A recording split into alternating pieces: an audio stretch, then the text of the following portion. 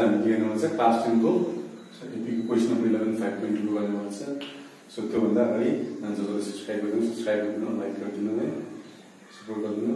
So knowledge start अब question right question number पहिला question बुझौँ के भन्दैछ? Question number eleven five point two हो। So with term of AP already AP दिएको रहेछ यहाँ है एपी दिएको छ भने कति छ अरे? थ्री फिफ्टिन यो एपी नै हो भन्दैछ अलरेडी भनेपछि यसको कमन डिफ्रेन्स सेम छ। Three fifteen twenty seven thirty nine double dot thirty two more than it's fifty four term more than fifty four term भन्दैछ यहाँनिर यसमा सर्टकट पनि छ लङ कट पनि छ यसमा होइन लामो तरिकाले पनि गर्न सक्छ हामी एउटा छोटकरी तरिकाले पनि गर्न सक्छ अब हामी मेन फोकस के बोर्ड इक्जाममा टाइम कभर गर्नु हो है सो साह्रो पर्छ हामीलाई सो त्यसले गर्दा हामी ज्यादा जस्तो सर्टकटै गरेको बेस्ट हो सो मलाई चाहिँ त्यो लाग्छ होइन चाहिँ छिटो हुन्छ किनकि यो लङ प्रोसेसले गर्दा वेस्टेज टाइम पनि हुन्छ सो मैले क्वेसन गर्नु भ्याउँदैन राइट सो यहाँ के भन्दैछ विल बी एपी यति धेरै will one two more than it's fifty four top भन्दैछ एपी सल्युसन के दिएको छ एपी दिएको छ कति three fifteen twenty seven thirty nine dot दिएको छ अनि अर्को कुन चाहिँ more than it's fifty four term चाहिँ कुन चाहिँ हुन्छ भन्दैछ यहाँनिर सो यो दिएको छ आरएन एपी दिएको छ यहाँनिर ए भनेको कति रहेछ थ्री रहेछ डी भनेको a two minus a one भनेको ए टू भनेको छ फिफ्टिन सेकेन्ड टर्म भनेको त ए टू भनेको फिफ्टिन ए वान भनेको वान भनेको फर्स्ट टर्म भनेको छ माइनस थ्री कति छ टुवेल्भ डन अब according to question according to question के भन्दैछ भने one thirty two more than is fifty four term भन्दैछ कुरा बुझ्दैछ त्यो भन्छ एकोर्डिङ टु क्वेसन हामी के यहाँ लेफ्ट एन टर्म चाहिँ हामी हामी के भन्यो भने एन एन टर्म थियो होइन यो n becomes to one thirty two then n equals to one thirty two more than more than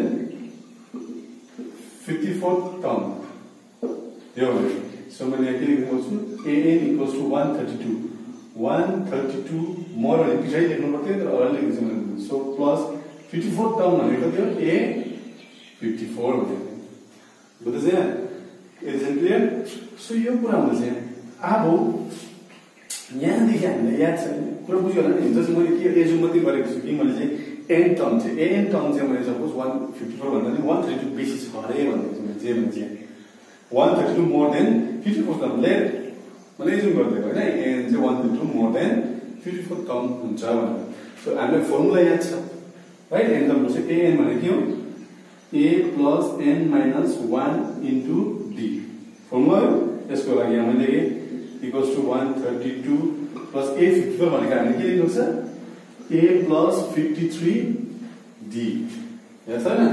त्यो लेख्न सक्छ? नि त्यहाँ ए भनेको कति छ? ए भनेको त्यहाँ थ्री छ।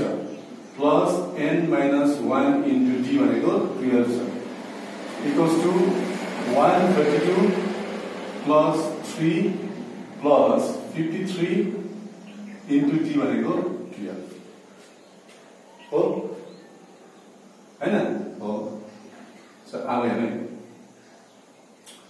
अब three plus N minus one into twelve equals to यहाँ यहाँ कति हुन्छ one thirty five you need a plus 1. Oh, plus, I mean 53, you need 53, yeah? 2 yeah, 2 3 are 6, and 2 5 are 10, 3 1 5 are 5, 6 3 6, 18 is right? So 6 3 6, half is plus 1. So 3 plus n minus 1 into 12 equals to 135 plus whatever you also 3, 6, 7, 7, 7, 1, right? 7, 7, 1 years. So n minus 1 into 12 equals to 7, 7, 1. You plus dividend again there? Minus 3. Hmm? So n minus 1 into 12 equals to n minus 3 minus whatever is that? 768. Correct answer. So n minus 1 अब यो 12 के into sub divided right? So divided by 12. अब तेरे दिन cancel होने Yeah, we can bring some. Correct, four is right? Four fusion, 12.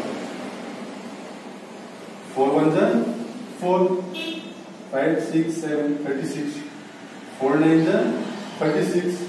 4 to the 8. 4 to the 10 minus 1 equals to 192 by 3. 3, 3 1 3. 3 6 the 18. 3 4 the 12. 1 the 64. So n minus 1 equals to 64. And the n equals to, what is the? 1 number जाँदा one, one हुँदैन 1. So, plus one so कति हुन्छ